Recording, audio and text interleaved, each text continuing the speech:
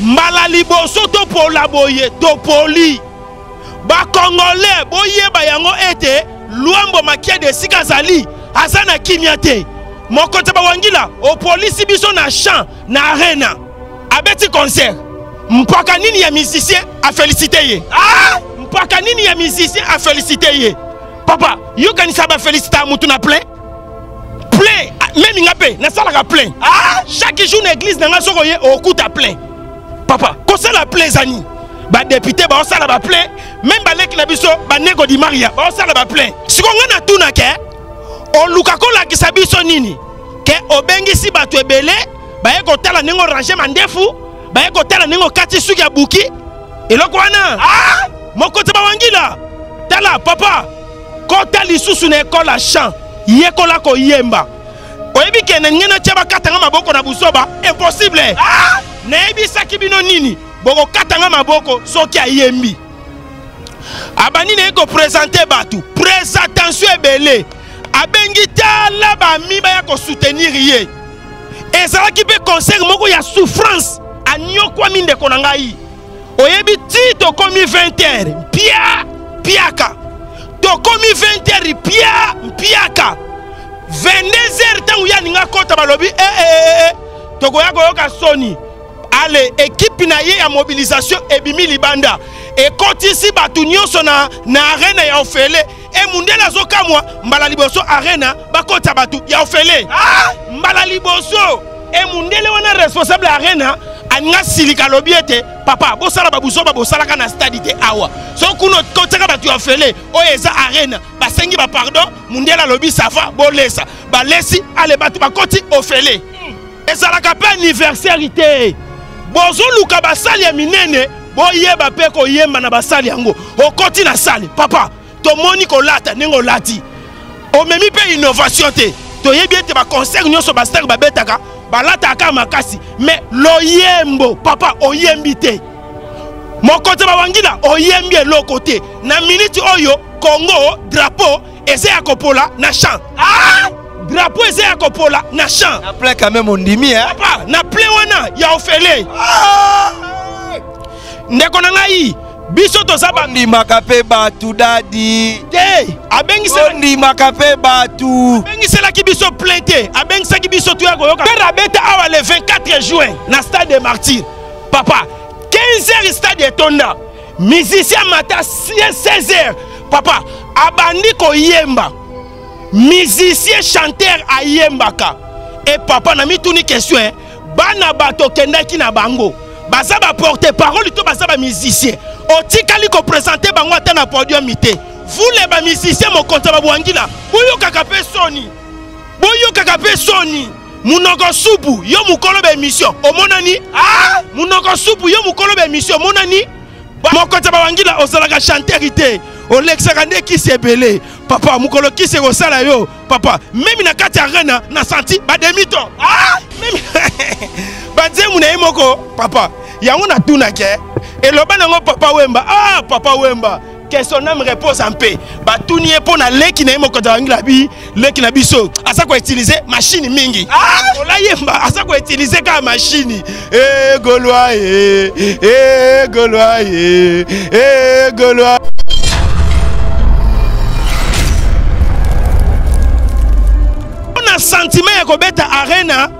nga kuna nakanisaki société na yo ya sécurité ezalaka ti kuna na france bango nde bakosala sécurité ndenge bomesana kobwaka bato bobwaka bafrançais ah! aleboke nango ti kuna na poto aleboke kotonga kofi olomide nzoka ti bozotonga kofi olomide nzoka bazofilme bino ah papa bino bokanisi eloko wana bolobi ete mutu soki adoki na bumwana bakoki koratrape ko ye o oh, mutu soki adoki na kimukolo e yaya boza baingre ah, société na wana ya sécurité mpo ezala oyo eza lelo c'est grâce à kofi olomide musicien oyo ozokumisa lelo oyo oza pembeni na ye papa ndenge aza wana na bandoto na ye nyonso kofi azangaka te ah! Ah! oyebi bato babengi nga na batelefone eme ponda tola bos abengi nga alobi liteya nga nakomi komona yo fo banda mpe kolobela kofi ah! yo ngai nakomi komona fo banda kolobela kofi nga abi te nazalaka na contrat na faire egola ah! c'est la honte mutu lokola kofi bino bokasi ntango bozobwaka bambwakela nde kofi azoyoka yango te asalaki video na butu te tresi mbelenga Pro balancer. Tanga bien. Nzambe, Nzambe na yo. Yoza mwana nganga, mama na nganga. Ngana nde mwana Nzambe. Otindi bafinga. Otindi baluka, baloba loba bilobela ba n'importe quoi. Bakitake chanteuse, osali stratégiquement foto kabola ye na chanteuse. Ozokoka kaka te. Mais etumbu na yo ya vie. Ya vie ya perpétuité. Je sais pas soki mo perpétuité. Donc peine na yo à perpétuité. Pesi mabe makasi et Kofi akoki ko supporter yango te. Kofi asali vidéo butu butu. Bino bokende loba na papa oyo abimisi yo. Mokota bawangila shiti na yo ekozala shiti moko mauvais. Ah! Mokota bawangila toza awa na Congo. Ba Congolais bazoyoka shiti na yo ekozala mabe. Yo komi ko utiliser même ba camarades na yo. namoni mpe moko aza wana alobaka na sonde ntango bazosala video azoloba na sonde akoki kutu koloba te ezosenga ava loba baya na sondi mpo aloba ah! baza kaka kliki wana kaka ya moto basekirite wana ah congolais Salut, c'est la vôtre Glody Diasuka, la mignonne. Je suis là pour vous annoncer. c'est une bonne nouvelle. Voici la bonne nouvelle pour vous partout où vous allez. Vous téléchargez Sendwave. Sendwave, c'est une application pour envoyer de fonds sans frais à partir à téléphone na yo au télécharger Sendwave. oza na poto okoki kotina mbongo partout na ba certains pays ya afrique précisement biso na congo oza toza na mposa so ya kose deplace te à partir ya telefone télécharge sendrive na yo otindi mbongo na seconde moto mpe azwi na telefone na ye na mpesa orange mani airtel mani très facile à utiliser et c'est très sécurisé bobanga te talaka nga moko naza na kati epuis cadeau ya monene oyo tomemeli bino nyonso bozo télécharge sendrive boutilize code promo nanga elengi ya congo donc après avoir téléchargé sendrive okoutilize code promo elengi ya congo oza na 10 euro offerte 10 euro bonus 10 euro wana ebakisi susu mwa un plus na mbongo oyo olingaki otinda en tout cas n'hésite pas bana poto nyonso bacongolais tout badiaspora olingi otinda mbongo na congo Telecharge Sendrive, application kitoko pona biso ba congolais nionso eye ko faciliter biso transfert d'argent sans frais oza na mbongo ofuta te kaka na kati ya application osali transfert na yo mpe ndeko no kuna aoketelema te na mulongo mpona kozela bapesa mbongo directement na telefone na ye azwi mbongo na ye n'oubliez pas ya koutilize code promo na nga elengi ya congo mpona bozwa 10 euro ya bonus téléchargez l'application inscrivez-vous botie ba coordonnées c'est très facile à utiliser les noms complets les numéros ba email tout oyo ekosenga biso na kimia nyonso na tranquillité après avoir koremplir nyonso à partir ya wana okoki kosala transfert na yo ya bafonds oyo yo olingi na congo ndeko na yo aza satisfait malade o butu moye okende kotinda mbongo soki wapi te na telefone na yo kaka directement oenvoye mbongo mpe ekomi na sécurité nyonso congolais tout oza na belgique na france diaspora tout olingi otinda mbongo na congo kohésite te sendwive eye mpona kofacilite biso na batransfert d'argent facile et sans frais sendwive mbongo na ntiombo na tranquillité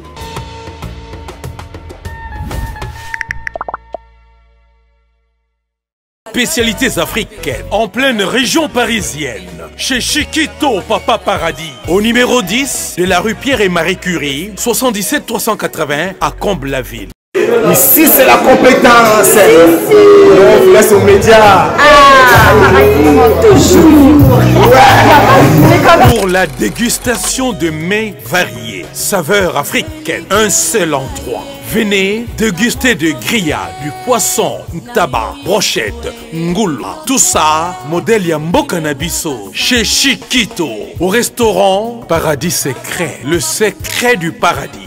avec accompagnement de manioc, chikwang, banane plantain, du riz, etc. etc.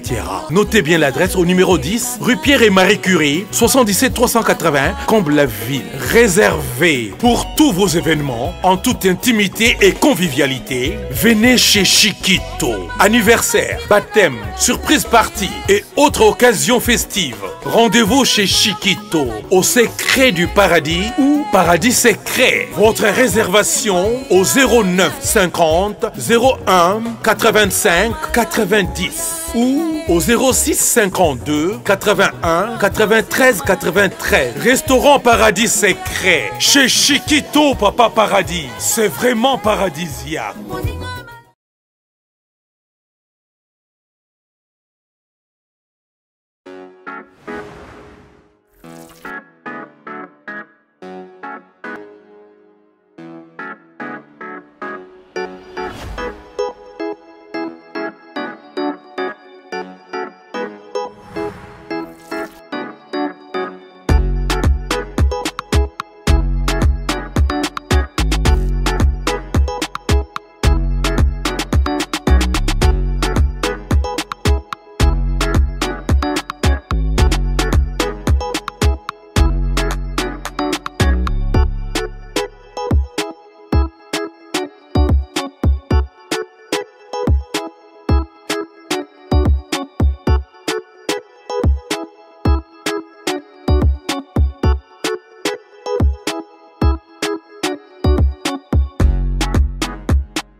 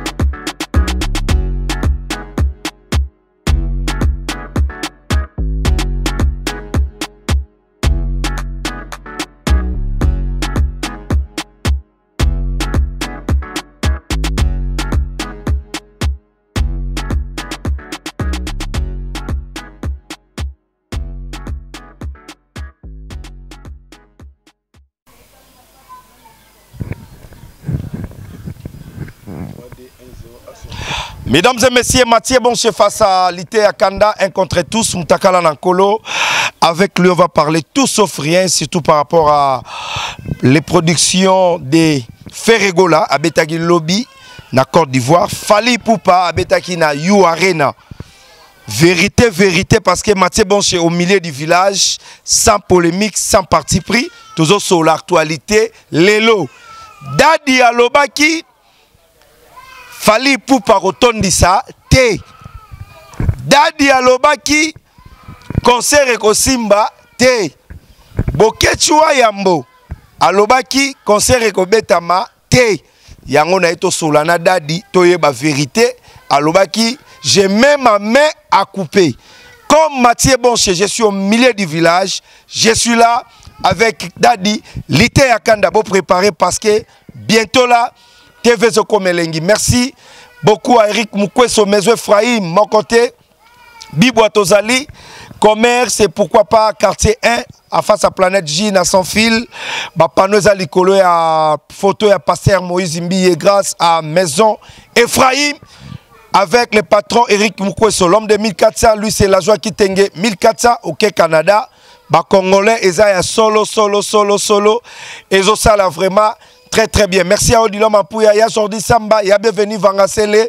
Nikon Kai les formateurs des boss et sans oublier Kingston Sono les boss depuis Lyon Kingston Sono les boss depuis Lyon en exclusivité mesdames et messieurs je suis avec Daddy l'homme de Snoop Dogg Dogg sponsor officiel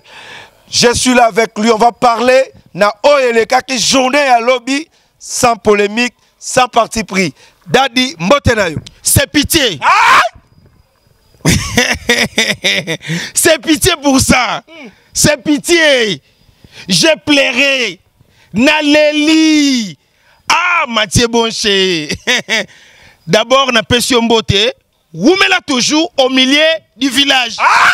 émission pesela please please présentateur c'est mathieu bonche que le bon dieu te bénisse lelo toza dimanche eza mokolo oyo nasalaka service ya koteya na église eloko wana ah! eza mokolo nasalaka émission te mpo naza na église ya monene nazokamba bato ebele eza mokolo oyo fo nalesa nde bana na nzambe eza mokolo ya kosala emission te mais lokola rdc epoli na champ yango naye mbangu ah! rdc lokola epoli na champ yango naye mbangu nabengi yo na telefoni ematie boshe nzambe apambola yo eh? nandimaki te kokoya emission mpo nayebi dimanche yo na nkoi ah! osakani te omela nkoi te oya kosala na golbert emission ah! C'est bien moi Goldberg de YouTube, un contre tous, frappe na le, frappe na retour. Mutakala na nkolo Samson musical. Lelo na kati église, nazo teya mais bato basobelela nga dadi koma tension ah! est-ce que mutu lokola ngai nakobela tension na mboko oyo papa ngai tension esepola ah! tension kutu ye moko tension abangaka ngai alobi ete motu aza nerf solide boye papa yo omona deja congolais barefule na congo ah! ngai congolais ngai barefulanga na congo ndenge omonaka ngai boye nakiti na congo batali elongi na ngai balobi te oyo eza elongi ya bazimbabwe kende zimbabwe ah! papa na se retrouva na banigérien na barwanda tanto olingaki oyoka mpe lelo na chana nationalité nakoki mpe kozala rwandais hmm. mais nkolo abatela nga alobi ete dadi lite ya kanda oza nationalité congolais wumela na mboka na yo tanke congo rdc mboka elengi mm. voilà napesi mbote rapidement mpo tokɔta na mama na likambo okay. mbote na bacongolais nyonso ya partout ya monde entier ya mokili moba bozotala biso wana namoni mon partenaire officiel snob dogdog aza jeune millionnaire avandaka na afrique du sud émission oyo eza spéciale eza émission ya kobwaka bato ebele te soki omoni nabwaki snob dogdog parce que naza sire na ye nayebi ete motema na ngai makanisi na ngai elalaka epa snob dogdog bientôt tozokende kofete mobange na anniversaire ya papa ya snob dogdog ye azali formateur ya bamillionnaire King Salomon Eric Masque Eric Jenga le grand mufti bakiselaka ye Mobutu tozokende kofete 30 ans de carrière na ye ye nde moto asala ete lelo oyo Jobour ekoma Jobu c'est Paris ah! voilà napesi molongani na ye mama Sandrine Kazadi Mokonzi ya bamama, wumela na ngwende na yo. Voilà.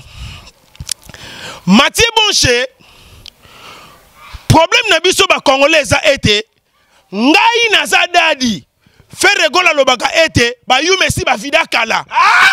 lobi tozalaki na deux grands concerts na république ya bacongolais na communauté congolais ferre gola abetaki na abidjan papa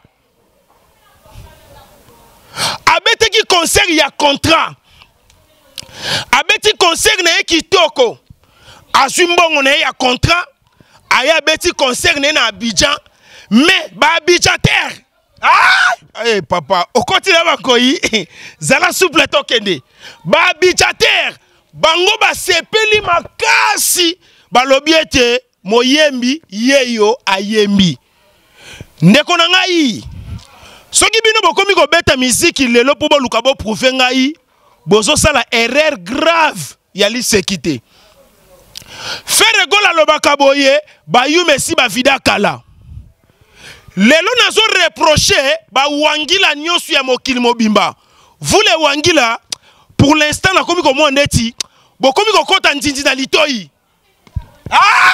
bawangila nakomi komona ndeti bokomi kokota nzinzi na litoi c'est comme si mitu na bino ezosala te omemi bato ebele na poto plus de 54 mosala na bango ezalaki nini omemi plus de 54 omemi na ekipe bajournaliste namoni musala na bango te na poto batie kaka loyenge batikali kopesa ata message ya bien te mpo na artiste na bango baartiste na yo bayaka kodefendre yo namonaka eloko ya malonga badefendaka yo te papa topoli ah!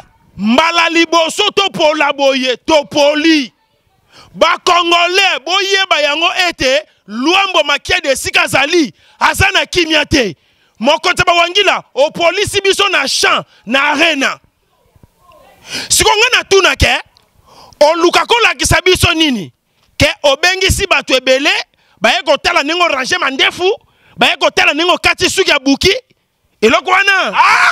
mokonzi bawangila tala papa kota lisusu na ekole ya champ yekola koyemba oyebi ke na ndenge natya bakatanga maboko na buzoba impossible ah! nayebisaki bino nini bokokatanga maboko soki ayembi abandi naye kopresente bato presentation ebele abengi tala bami baya kosoutenir ye ezalaki mpe concert moko ya souffrance anyokwami ndeko na ngai oyebi ti tokomi 20 heure mpia mpiaka tokomi 20 heure mpia mpiaka 22 heure ntango ye alingi akota balobi ee eh, eh, eh, tokoya koyoka soni ale ekipe na ye ya mobilisation ebimi libanda ekotisi bato nyonso na, na arena ya ofele e mundele azokamwa mbala liboso arena bakota bato ya ofele ah! mbala liboso e mundele wana responsable ya arena alinga silika alobi ete papa bosala babuzoba bosalaka na stade te awa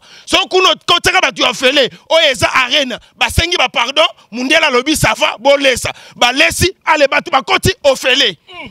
papa ferre abeta awa le 24 juin na stade de martyr papa 15 heures stade etonda musicien mata 16 heures papa abandi koyemba musicien chanteur ayembaka e papa na mituni question eh?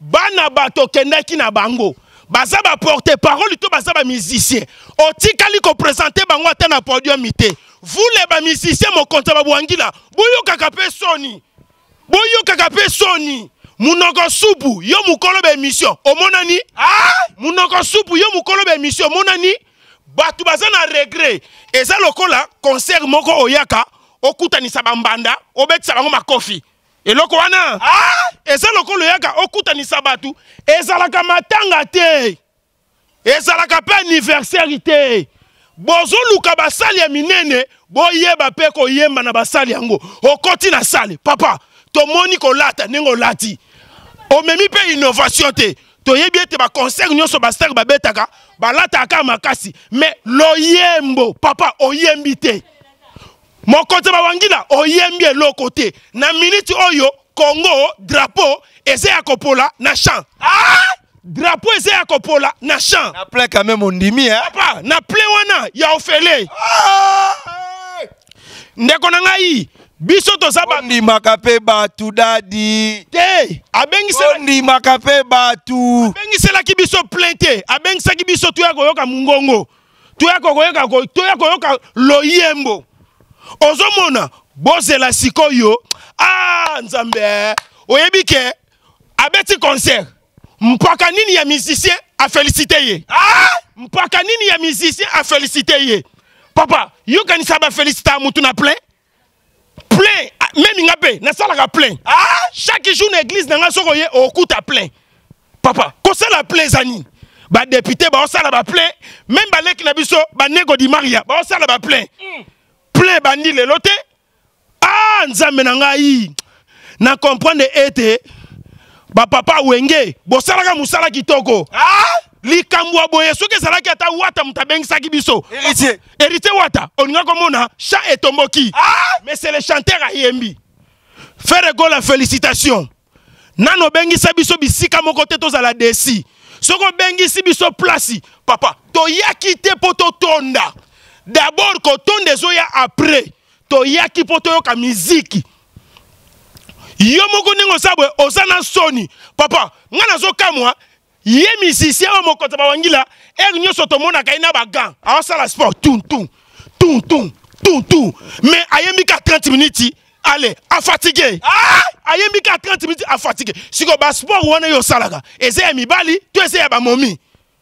papa tozala mikolo to réfléchi ngai kokanisa te soki ozosala makambo na kobeta kara ngai ndenge naza boye je suis sentinelle ah! nazokengela nyonso oyo ezoleka nazobomba eloko te e nakengeli mokonzi bawangila papa na regrete na regrete eh ba combattant même ici eh bosali na bino desordre te esengeli kaka botika tomona badefo na ye na misu ah! esengeli kaka totika tomona badefo na ye na misu papa ozoluka basala minene mpo prouve nani ale bozosenga ye lisusu stade de france papa stade ezalaka mpe likolo polele ti place ya komela pema na espace ya 3 minutes ah! place ya komela pema na espace ya 3 minutes mokonta bawangila ozalaka chanteur te olekisaka nde kisi ebele moko te bawangila ozalaka chanteri te olekisaka nde kisi ebele papa mokolo kisi ekosala yo papa memi na kati ya rena na santi bademiton ah! memi banzemu na ye moko papa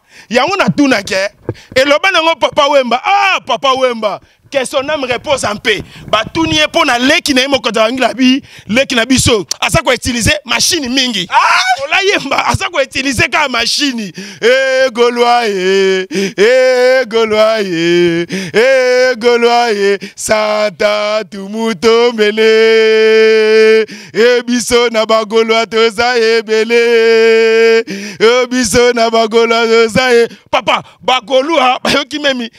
tala omona te bakoki kosala meme discussion te bakauki bakatani e naye komona kamaradi moko azalaka na société na ye ya sécurité me azalaka motema mokuse ah! ye moko moto abandaka matumboli me soki baye kolobela ye ekomaka ya bakasho kasi na regrete makasi mpo na santima ya kobeta arena nga kuna kanisaki société na yo ya sécurité ezalaka ti kuna na france bango nde bakosala sécurité ndenge bomesana kobwaka bato bobwaka bafrançais ah! aleboke nango ti kuna na poto aleboke kotonga kofi olomide nzoka ti bozotonga kofi olomide nzoka bazofilme bino ah papa bino bokanisi eloko wana bolobi ete mutu soki adoki na bumwana bakoki koratrape ko ye o oh, mutu soki adoki na kimukolo e eh, yaya boza baingre hein? ah? société na yo wana ya sécurité mpo ezala oyo eza lelo c'est grâce à kofi olomide musicien oyo ozokumisa lelo oyo oza pembeni na ye papa ndenge aza wana na bandoto na ye nyonso kofi azangaka te ah? ah, oyebi bato babengi ngai na batelefone aime ponda dola bos abengi alobi liteya ngai nakomi komona yo fo banda mpe kolobela kofi ah! yo ngai nakomi komona fo banda kolobela kofi ngai abi te nazalaka na contrat na ferre gola ah! nazalaka na contrat na bagolois c'est la honte mutu lokola kofi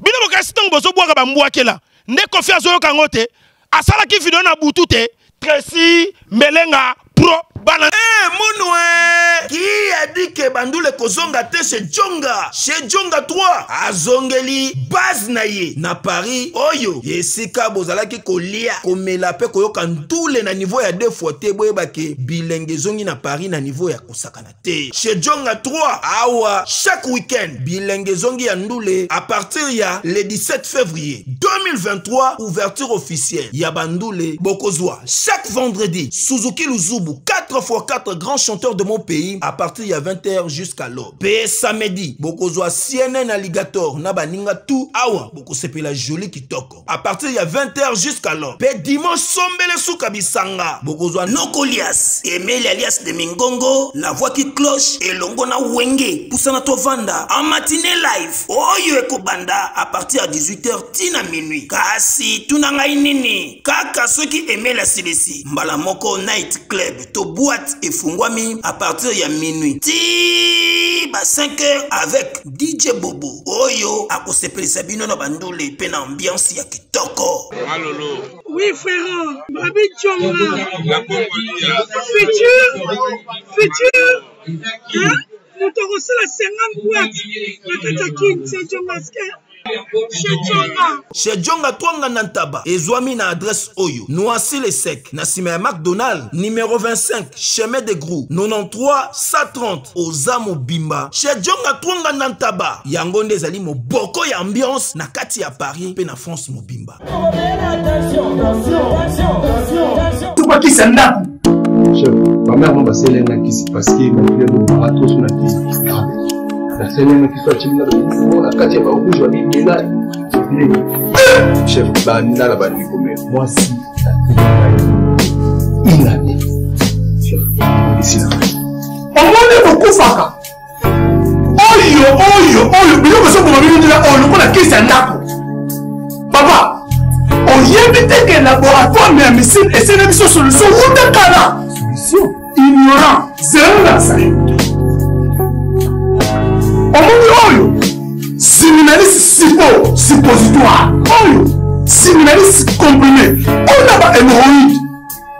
voilà omoni desestimule oyo eza mpo na faiblesse sexuelle eko mpo na frigidité mpo na basi ekoyede makasi mais borex soki osisi traitement nyonso tu ya hémorroïde nde sikoyo okobanda kopakola yango mpo na nzoto ya biso bapapa soki mpo olingi omesire basantimetre no avant banda kopakola mpo mokolo kosilisa okomesire lisusu okomona ke box toujours champion okomprendre bakistio nyonso nayakisi yo okozonga esika mosusu te na congo kaka na laboratoire me ya misile epuis esalami na banzete ya congo banzete kaka ya kongo banzete mosusu te ya kongo nde mama nakosi eh, wana nde akulunga bores oyo mobali na ngai asalela bores oyo soko na bores oyo te me mobali na ngai nzoto ezonga ya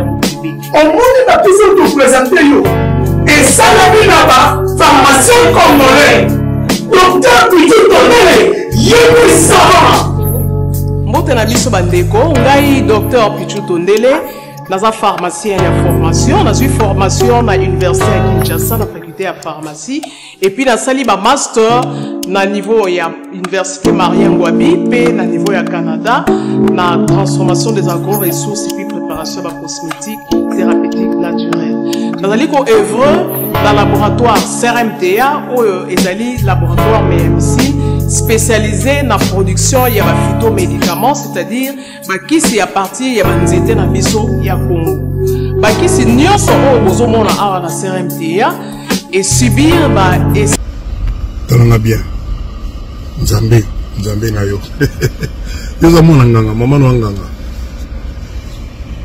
nga na nde mwana nzambe otindi bafinga otindi baluka balobaloba bilobela ba n'importe quoi batake chanteuse osali stratégique non foto kabola ye na chanteuse ozokoka kaka te mais etumbu na yo ya vie ya vie ya perpétuité je sais pas soki bimo perpétuité donc peine na yo ya perpétuité eza que okotambola te sans omona elongi ndenge ebimela yo sans que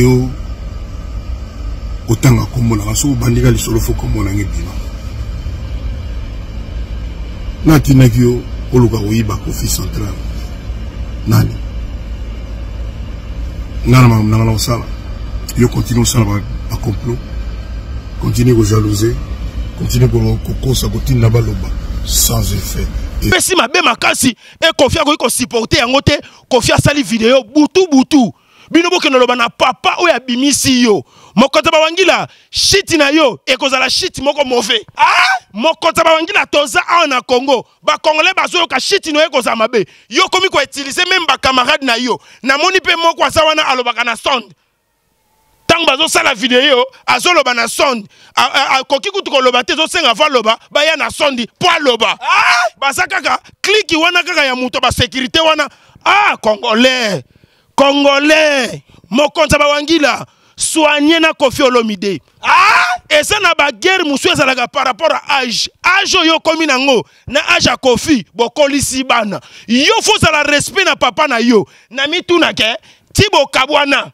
na yango nazotuna kofi alobi ete papa na yo aza nganga mama na yo aza nganga nazolinga nayeba banganga yango ya modeli nini ah! ah mokonzi ya bawangila lembisa kisi mokie biso mpe toza na biso na bakisi me bakisi na biso toyebaka ndenge kokalme yango me ya yo kisi ekomi komema mankima ekomi komema buzoba ebele e nakoyebisa bino ete bakongole bokita mitema moyembi azoya chanteur azoya fere gol azoya sele yo aleli ah, yo aleli okazio yango ya kotya bi otye bi te papa oyokisi biso soni bakongole bawangila ba ya bazoba bawangila mitu ezosala te mokonzi na bino ayokisi kongo soni toza na soni topoli okazio ya malamu otondisi bato ebele me okoki koyemba te obandi na yo kopresente bamasta opresente nani opresente gesi mawete rj kaniera rj okoti na faux terrain rj kanisangano na lubumbashi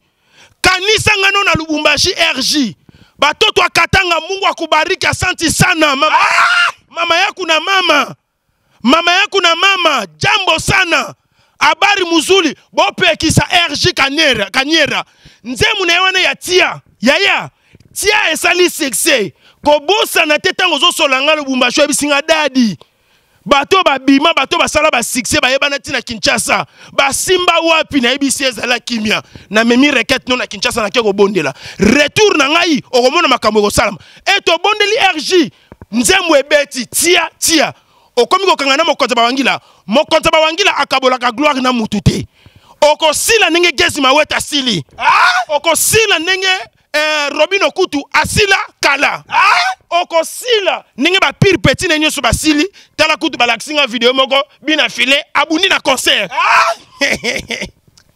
ah nzambe na ngai motema ezosuka bango mabe eh? mokonzi ya bawangila mikolo oyo bagolwa mokonzi ya bawangila bobengaka esu mokonzi ya bawangila te toshanze ye nkombo komo na ye komi faux chanteur ah? faux chanteur tala papa na opesa conseil moko kester azalaka deuxième voix lourd mais asangisaka yango na batenoriste yango lelo esala nkombo ya kester etikala papa wemba azalaki tenoriste premier voix ya likolo ayemba na ba deuxième voix voix na ye etikala e voix baprotegeaka yango okoyemba na banani tala na rumba forever tala ntango yo oyembi otiki salite mais fere ntango aye akorge yango ah!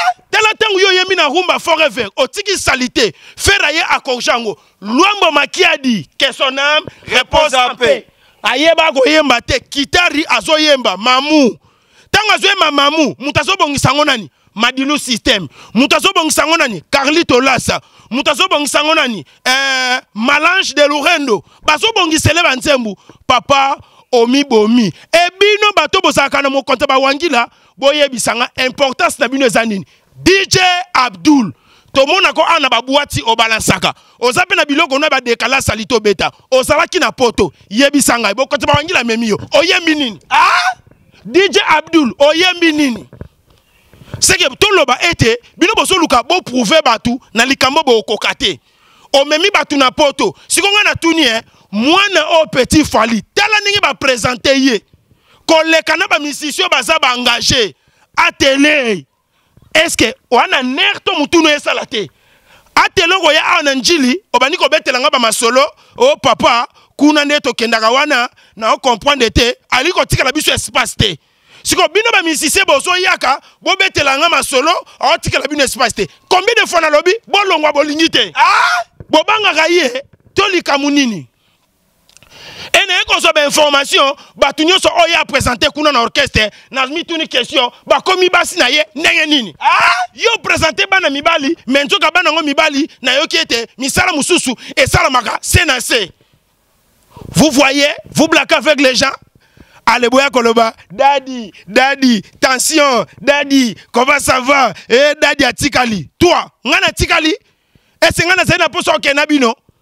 Allez, ba keko luka ya deni lesi, ba utiliser ye, pour ngana que no senga ya deni lesi bolimbisi, pour mon kota ba wangila, alimbisa ngai, amemanga poto. biloko na bimisa nga mokolo na kozonga mpo mokonzi bangila akoboma ngai na lipa mwamba ekozala nie ya madame na ye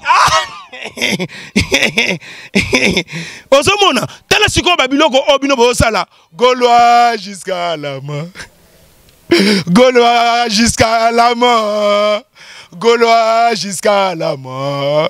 Je serai Gaulois jusqu'à la mort. Gaulois, Gaulois jusqu'à la mort. Congolais, hein, Topoli. Sauf père de la rumba, les bons chanteurs, musiciens congolais ya mboka alongoli biso soni na afrique na abidjan mm. eloko wana ah? alongoli biso soni na afrique na abidjan papa nakosa bino te pourquoi bajournaliste journaliste oyo basalaka mosala na poto bamige niema baza ebele bajournaliste nyonso bajazz baye te mpo na nini bakomprendre ke kuna ye abengisaka bato baya ebele me loyembo mwe loyembo eza te boza bien accueillir te poto eyambi bino te bozela bakombata baza kose prépare mpo na leki na bango ferre gola geste nias le padre moto ya yambo oyoka ndenge bakoyamba ye merci na trésor muchi fondation muchi moninga ya yanike kiniya rombox acteur ya film merci ya kim salumu trésor milgendar Chris Ramses, les jeunes producteurs, merci à vous, merci à tout l'honorable Baro Postulé, Christian Matata, Christian Matata, Christian Matata, toko voté, Postulé, toko voté ye, baza ebele, ba fiston, Mundadi, Monganga, baza ebele, ba ADG Eric, Mwamba, ba maître Serge Mundu, maître Serge Mundu, Masina, mon village trésor mputu ya gaga mputu ya gaga changu ese ya bino moto abangisa bino te namoni mpe batindeli ngai mon vieux bienvenu kamba apocalypse 22 ye mpe apostile ngai mpe naza wana nazotala lisu likolo ya lisu nayeba nani akobima nani akobima te mm. naza wana nazotala position ndenge makambo ezokendele nasepeli mpo namoni ete na kati na bango baza baresponsable irresponsable aza te ngai nalingi baresponsable baya ebele ekosala kitoko merci na maître mabende bacharge